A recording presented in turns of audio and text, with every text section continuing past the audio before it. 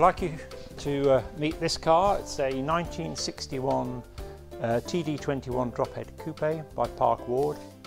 Um, lovely design by the uh, originating from the uh, Swiss coach builders Graber and this model, the TD series, came to represent luxury motoring for Alvis in the 1960s.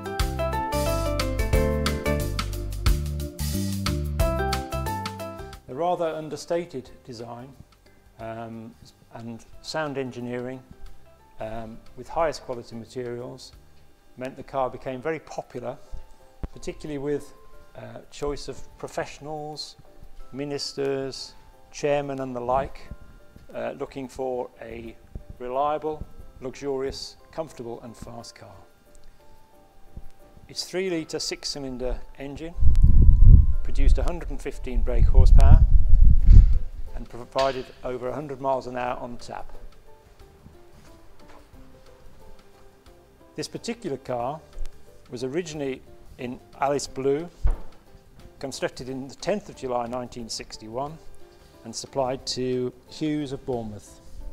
The first owner being a gentleman called Ben Lenthal, who seemed to have got around quite a lot as the car was recorded as um, being at a number of addresses, uh, five in total, uh, and two of them in France.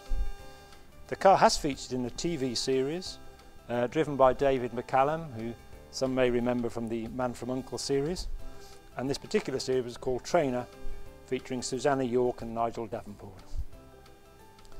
The car had a replacement engine fitted, which according to our records was uh, 1971.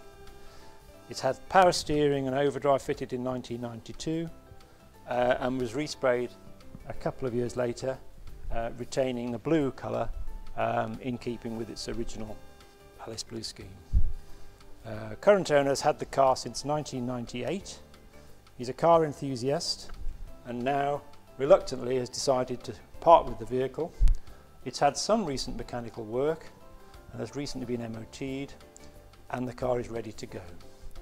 It can be inspected here at Kenilworth in our showroom.